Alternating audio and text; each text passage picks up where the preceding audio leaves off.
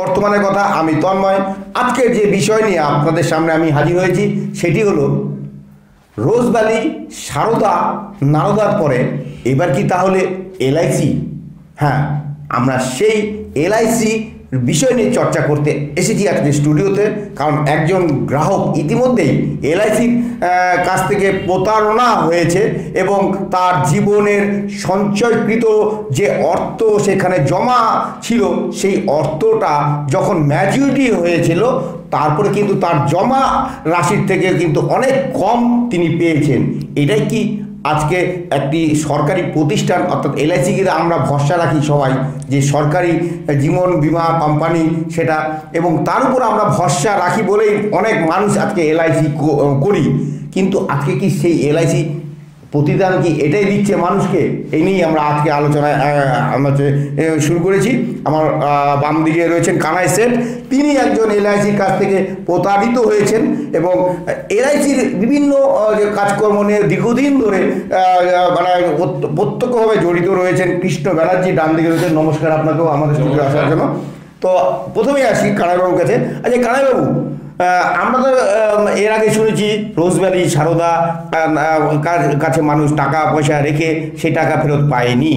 তাহলে আজকে আপনার আপনার কাছে আমরা একটা অভিযোগ পেয়েছি যে আপনি যে টাকা এলআইসির কাছে জমা রেখেছেন সেই টাকা যখন ম্যাচুরিটি হয়েছে তারপরে কিন্তু সেই টাকাটাও আপনি পাননি। বেনিফিট তো দূরের কথা। ব্যাপারটা কি? নমস্কার আমি শ্রী কানাই শেঠ উত্তর দিনাজপুর জেলার অধীনস্থ কালিয়াগঞ্জ পৌরসভার নয় নম্বর ওয়ার্ডের একজন সিনিয়র সিটিজেন এলআইসির জীবন নিগম বা জীবন জীবন বিমা নিগম এর সাথে আপনারা সকলেই পরিচিত। দু হাজার দশ সালে আর পাঁচজনের মতন আমিও একটা জীবন সরল পলিসি ক্রয় করি। এই পলিসির মাধ্যমে আমাকে এজেন্ট এবং ডিও বা ব্রাঞ্চ ম্যানেজার কি কি সুযোগ সুবিধা আছে আমাকে অবগত করেন। এই অবগত হওয়ার পর আমি দশ বছরের জন্য একটি পলিসি জীবন সরল পলিসি আচ্ছা। করি যে পলিসিটার প্ল্যান হচ্ছে one sixty five Jeevan Saral policy তো আমি গত মানে দু হাজার দশ সালে পলিসিটা করি। আমার কোয়ার্টারলি প্রিমিয়াম ছিল একষট্টিশো পঁয়তাল্লিশ টাকা একষট্টিশো পঁচিশ টাকা করে আমি প্রিমিয়াম দিই। দশ বছরে আমি দুই লক্ষ পঁয়তাল্লিশ হাজার টাকা প্রিমিয়াম দিয়েছি। আমাকে বলা হয়েছিল শুধু আমাকে বলা নয় এলআইসি তাদের বিজ্ঞপ্তি দিয়ে বা লিফলেট করে জানিয়েছিল যে দশ বছর মেয়াদ অন্তে জমার টাকার দ্বিগুণ আমরা ফেরত পাবো। অর্থাৎ পাঁচ লক্ষ টাকার উপরে। পাঁচ লক্ষ টাকার উপরে ফেরত পাবো। কিন্তু আমার যখন পলিসিটা ম্যাচিওর হলো তখন আমি এলআইসি অফিস থেকে চিঠি কবে ম্যাচিউরিটি হয়েছে? ম্যাচিওরিটি হয়েছে চোদ্দ এক দু হাজার কুড়ি। আচ্ছা। চোদ্দ এক দু হাজার কুড়ি ম্যাচিওর হলো। তখন তার আগে আমাকে একটা এলআইসি থেকে চিঠি পাঠানো হলো। চিঠিতে আমাকে জানানো হলো যে আপনার পলিসি চোদ্দ এক দু হাজার কুড়িতে ম্যাচিওর হবে এবং আপনার ম্যাচিওরিটি অ্যামাউন্ট হচ্ছে এক লক্ষ চুয়ান্ন হাজার পঁচাশি টাকা। আমার প্রশ্ন হচ্ছে এই পলিসিটাতে পরিষ্কার বলা আছে উইথ প্রফিট অর্থাৎ লাভযুক্ত পলিসি আচ্ছা। এই আশা করেই আমরা টাকাটা জমা করেছি যে আমি জমাকৃত টাকা থেকে আমার বেশি লাভ হবে। আমি দশ বছরে আমার কষ্টের মধ্যে দিয়ে আমি একজন বরিষ্ঠ নাগরিক হওয়া সত্ত্বেও আমি বিভিন্ন কষ্ট করে টাকা জমা করেছি।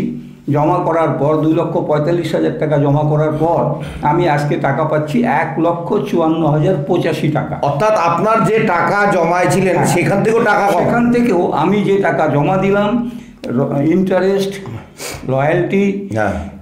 বোনাস তো দূরের কথা উপরন্তু আমাকে নব্বই হাজার নয়শো পনেরো টাকা কম দেওয়া হলো। আচ্ছা আপনার টাকা থেকে? আমার টাকা থেকে। আমি যে টাকাটা জমা করেছি সেই টাকা থেকেও আমাকে ন হাজার নব্বই হাজার নশো পনেরো টাকা কম দেওয়া হলো। আচ্ছা। তো আমরা জানি এলআইসি একটি বিশ্বস্ত প্রতিষ্ঠান। এলআইসি বিশ্বস্ত প্রতিষ্ঠান এবং তার নাম ধাম রয়েছে। শুধু তাই নয় আমরা আজকে এলআইসির উপরে বিশ্বাস করে আমরা সবাই পলিসি করেছি। কিন্তু যখন আমরা পলিসি করি, আমাদের এজেন্ট বা ডিও বা যারা যে সমস্ত বেকার যুবতীরা রয়েছেন, যুবক যুবতীরা তারা চাকরি পাননি, তারা আজকে আজকে নিজেদের রুজি রোজগারের জন্য তারা এলআইসির এজেন্ট হিসেবে নিয়োজিত হয়েছেন, হয়ে তারা আজকে আমাদের এই পলিসিগুলো করিয়েছেন। কিন্তু আমরা কখনোই জানতাম না বা আমাদের জানানো হয়নি যে এই পলিসিতে সিনিয়র সিটিজেনদেরকে টাকা কেটে নেওয়া হবে বা কম দেওয়া হবে বা আমাদেরকে বঞ্চিত করা আচ্ছা কানাবাবু এখানে আমি একটু মানে আপনাকে ইন্টারভিউ করছি যে আপনার কাছ থেকে আমরা শুনলাম যে এলআইসি আপনার কাছ থেকে কীভাবে মানে টাকা, আপনার জমা টাকা থেকেও মানে কেটে নিয়েছে তা এবং বেনিফিট তো দূরের কথা। আমরা আপনার কথার পরিপ্রেক্ষিতে দীর্ঘদিন ধরে এলআইসির সাথে যুক্ত রয়েছেন কৃষ্ণ বাবু। এবং আমি কৃষ্ণবাবুর কাছে জানতে চাই যে এলআইসির মতন একটা বিশ্বস্ত প্রতিষ্ঠান তাদের কাছে কি মানুষ এই এটা আশা করে? কি মনে হয় আপনার? নমস্কার। আমাকে একদম সঠিক প্রশ্নটাই আপনি প্রস্তাবনা করেছেন যেটা আমার মনে হয়েছে বেশ কিছুটা সময় এলআইসির সাথে পরোক্ষভাবে কাজ করার পরিপ্রেক্ষিতে আমার উপলব্ধি হয়েছে। মানুষ কিন্তু জীবন বীমা নিগমের কাছে জীবন বীমার প্রেক্ষাপটে কিন্তু কিছুটা বীমা সহ লাভ আশা করেন। কিন্তু যেটা কানাইবাবু বলছিলেন যে একশো পঁয়ষট্টি নম্বর জীবন সরল পলিসিতে যারা দশ বছরের জন্য এই পলিসিটি ক্রয় করেছিলেন, তাদের প্রাথমিক পর্যায়ে ব্রাঞ্চ আধিকারিক বা শাখা প্রবন্ধক বা এজেন্ট বা যারা উন্নয়ন আধিকারিক আছেন, তারা যে ছবিটা প্রস্তাবনা করেছিলেন, যে ছবিটা দেখিয়েছিলেন, তার নিরিখে কিন্তু বর্তমানে যে টাকা বা যে ম্যাচুরিটি মেয়াদান্তে দেওয়া হচ্ছে, সেটা অত্যন্ত কম। এবং অনেক ক্ষেত্রে যারা এজেন্ট আছেন, যারা এই কাজ পলিসিটার সাথে প্রত্যক্ষ পরোক্ষভাবে যুক্ত আছেন, তারা কিন্তু বিভিন্ন শর্ত বা বিভিন্ন কথার জায়গায় কিন্তু একদম সম্মুখীন হয়েছেন, সমস্যার সম্মুখীন হয়েছেন এবং ভবিষ্যতেও হবেন। তার কারণ হচ্ছে এলআইসি যেভাবে উপর, তার উপরিতল থেকে যারা এই প্রস্তাবগুলো তৈরি করেন, এই প্ল্যানগুলো তৈরি করেন, তারা যেভাবে পরিচালনা করেছেন, সেই পরিচালনার নিরিখে কিন্তু নিচে একদম তৃণমূল পর্যায়ে অবধি এজেন্ট যিনি কাজ করেন, তিনি কিন্তু সেই কথাগুলোকেই কিন্তু বিভিন্ন রকম ভাবে প্রস্তাবিত করেন সেখানে মূল কথাগুলো কিন্তু একদমই যার যেরকম ভাষা বা দখল থাকে সেইভাবেই কিন্তু প্রস্তাবিত হয়। কিন্তু সেইখানে মূল কাঠামোটা যিনি পরিচালনা করেন এলআইসির সেক্ষেত্রে যদি ঘাটতি থেকে যায় তাহলে এরকমই একটা পরিস্থিতির উদ্ভব হয় যেটা কানাইবাবুর কথা থেকে বোঝা যাচ্ছে। কারণ একশো পঁয়ষট্টি দশ বছর যারা সাধারণ মানুষ কেনেন, তাদেরকে কিন্তু এলআইসির দায় এবং দায়িত্ব বর্তায় যে সঠিক সে কতটা টাকা রাখছে এবং কতটা টাকা ফেরত পাচ্ছে। আমরা প্রত্যেকটা প্ল্যানেই লক্ষ্য করে দেখেছি যে সে কিন্তু কিছু না কিছু টাকা তার বাড়তি পায় প্রত্যেকটা পরিকল্পনা থেকে, প্রত্যেকটা প্ল্যান থেকে, প্রত্যেকটা টেবিল থেকে। কিন্তু এই ক্ষেত্রে সম্পূর্ণ ভিন্ন হয়েছে, যেটা কানাইবাবু অবশ্যই করে বলেছেন, নব্বই হাজার নশো পনেরো টাকা কম হয়েছে কম হয়েছে। এটা এলআইসির যারা দক্ষ আধিকারিক আছেন যারা এলআইসির হেডকোয়ার্টারে বসে আছেন যারা বিভিন্ন পর্যায়ে কাজ করছেন তারা জানতেন এটা কিন্তু কথা বলে বিভিন্ন সময় বিভিন্ন রকম ভাবে বোঝা গেছে কিন্তু যারা একদম তৃণমূল পর্যায়ে কাজ করছেন তাদেরকে কিন্তু সেই বার্তাটা থেকে দেওয়া হয়নি। সঠিকভাবে কিন্তু দেওয়া হয়নি বা যদি দেওয়াও হয়ে থাকে সেটা কিন্তু সদর্থক ভূমিকা পালন করেনি একদম একদম। আমরা হচ্ছে কৃষ্ণবাবুর কাছ থেকে অনেক কিছু শুনলাম ব্যাপারটা। তো কানাইবাবু আপনাকে বলছি যে আপনার মতো মানুষ একটা সরকারি প্রতিষ্ঠান বলতে এলআইসি জীবন বিমা, সেখান থেকে চিট হলেন আপনি। আপনি তো একাধারে তো কালিয়া ক্রেতা সুরক্ষা মানে সমিতিরও তো একজন কর্ণধার। তো আপনি কি সেই আপনার চিটিংয়ের এই ব্যাপারটা আপনি কি সেই মানে প্ল্যাটফর্ম থেকে কি আপনি কি এলআইসির ঊর্ধ্বতন কর্তৃপক্ষের কাছে কি নালিশ জানাবেন অবশ্যই আমি যখন এই পলিসিটা করি তখন এলআইসির যিনি আমায় করিয়েছিলেন বা যারা এই- এই দায়িত্বে ছিলেন হ্যাঁ। তারা লিফলেট দিয়ে জানিয়েছিলেন যে এত টাকা জমা দিলে এত টাকা পাওয়া যাবে। এলআইসি একটা বিশ্বস্ত প্রতিষ্ঠান একটি সর্বভারতীয় প্রতিষ্ঠান অবশ্যই। একটি বিশ্বস্ত প্রতিষ্ঠান। সেই জন্য আমরা সরল বিশ্বাসে জীবন সরল পলিসি ওয়ান সিক্সটি ফাইভটা আমি করি। করে আমি অভাব অনটনের মধ্যে দিয়েও আমি যথাসময়ে যথারীতি প্রিমিয়াম জমা দিয়ে দশ বছর অতিবাহিত করি। তারপরে আমি যখন ছয় ছয় বারো দু হাজার উনিশ তারিখ আমাকে চিঠি পাঠালো যে আপনি আপনার বিমাকৃত ম্যাচুরিটির টাকা এক লাখ চুয়ান্ন হাজার পঁচাশি টাকা পাবেন। আমি তো হতবাক হয়ে গেলাম। আমি তো স্তম্ভিত হলাম। কি ব্যাপার? বোধহয় কোনো একটা ভুল আছে। তখন আমি এলআইসির ব্রাঞ্চ ম্যানেজারকে একটা চিঠি করি। যে আমার মনে হচ্ছে আপনাদের হিসাবে কোনো ভুল আছে আপনি বিষয়টা একটু দেখুন দেখে আমাকে অবগত- করুন। তখন ব্রাঞ্চ ম্যানেজার আমাকে আবার একটা চিঠিতে জানালেন না সব ঠিক আছে কোনো যেটা আপনাকে জানানো হয়েছে এক লক্ষ চুয়ান্ন হাজার পঁচাশি টাকা আপনি এই টাকাটাই পাবেন। আচ্ছা। আমার প্রশ্ন হচ্ছে জীবন পলিসিটা জীবন সরল পলিসিটা কোনো চিট ফান্ড নয় বা এটা কোনো শেয়ার কেনা বেচার পলিসি নয়। এটা উইথ বেনিফিট পলিসি বলে বাজারে বিক্রি করা হয়েছে। উইথ বেনিফিট পলিসি বলে আজকে গ্রাহকদের কাছে এটা চালানো হয়েছে। এখানে আমরা পলিসিটা কিনেছি।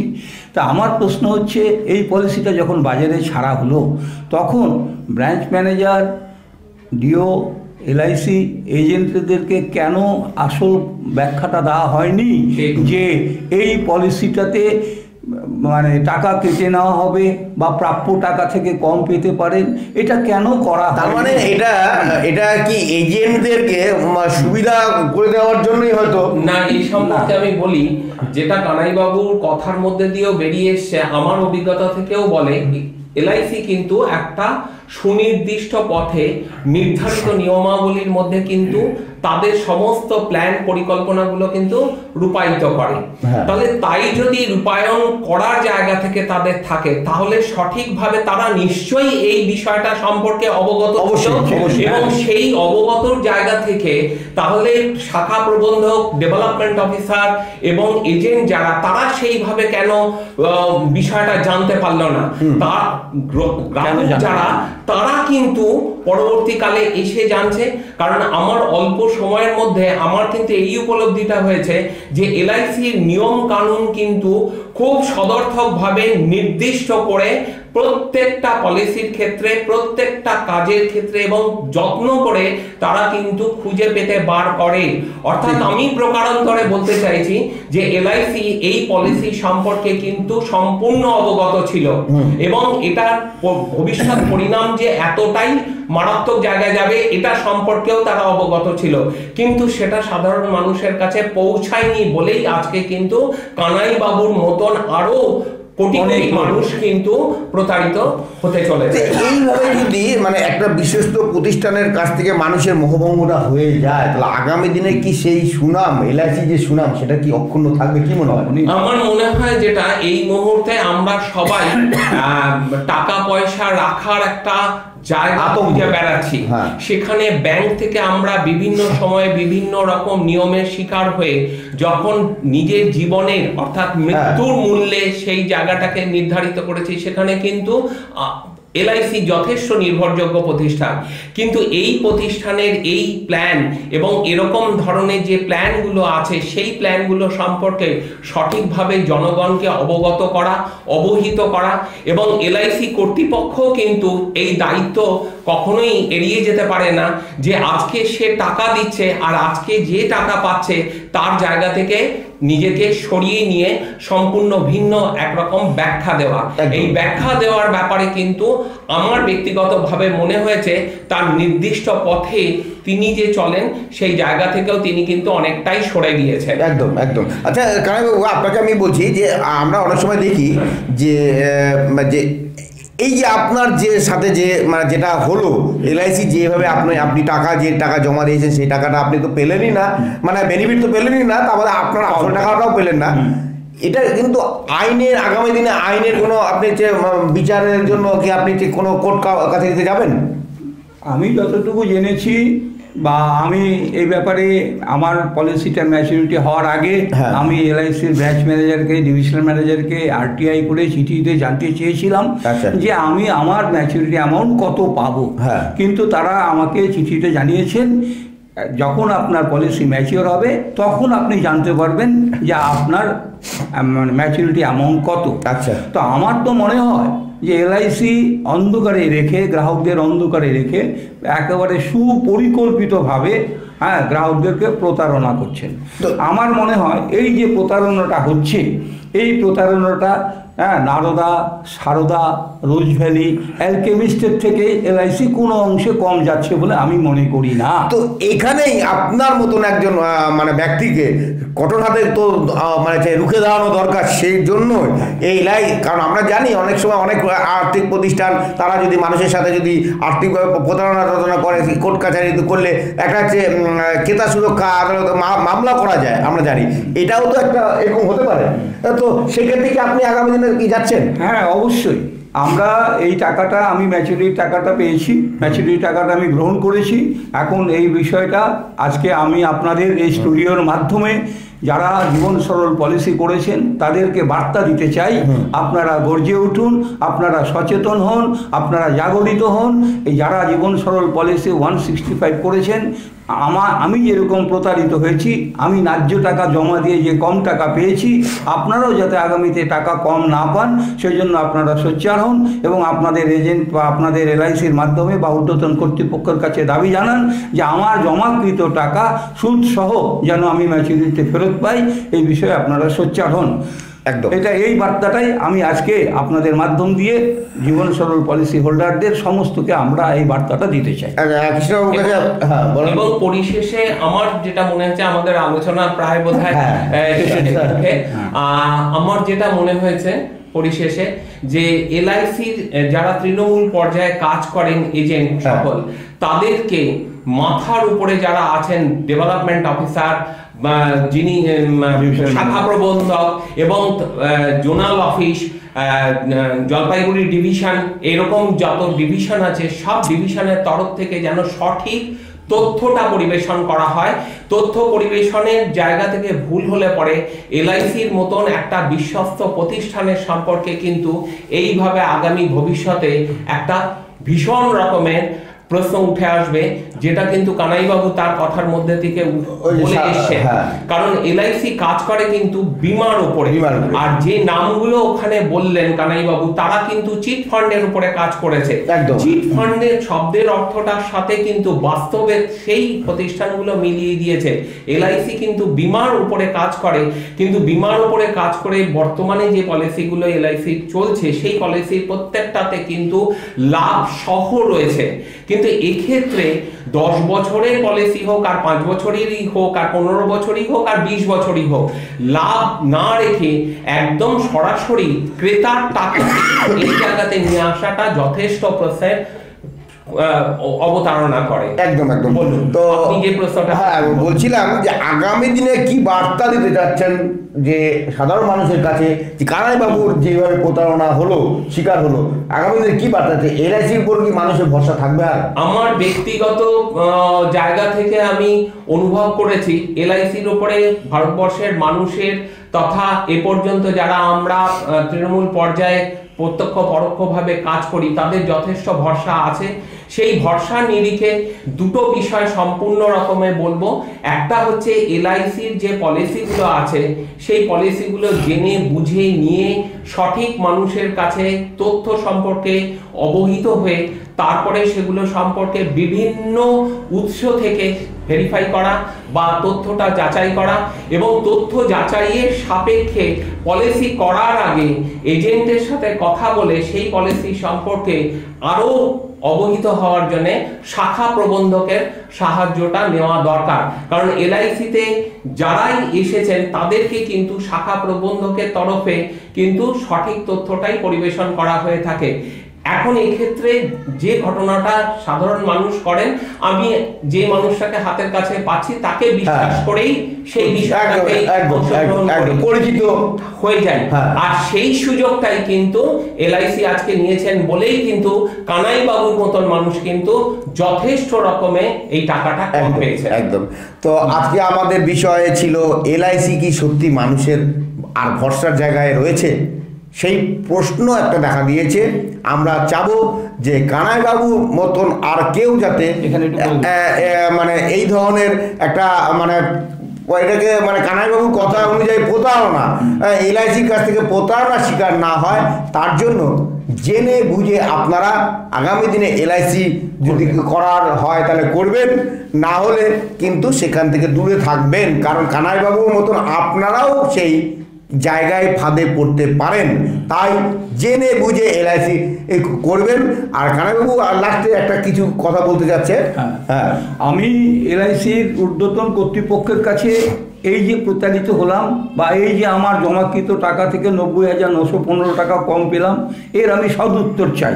একদম। যেহেতু জীবন সরল পলিসিটা উইথ প্রফিট হিসাবে বাজারে এসেছে বা গ্রাহকদের কাছে বিক্রি করা হয়েছে তাই আমার জমাকৃত অর্থ সুদ সমেত আমাকে টাকা ফেরত দেওয়া হোক আমি আমার ন্যায্য পাওনা এলআইসির কাছে দাবি করছি একদম। এবং সেই সাথে সাথে যারা এলআইসিতে, এলআইসির জীবন সরল ওয়ান সিক্সটি ফাইভ পলিসি করেছেন, আমার মতন সিনিয়র সিটিজেন যারা রয়েছেন বা এমনি সাধারণভাবে যারা করেছেন, তারা যাতে প্রতারিত না হন, তারা এই ব্যাপারে সোচ্চার হন।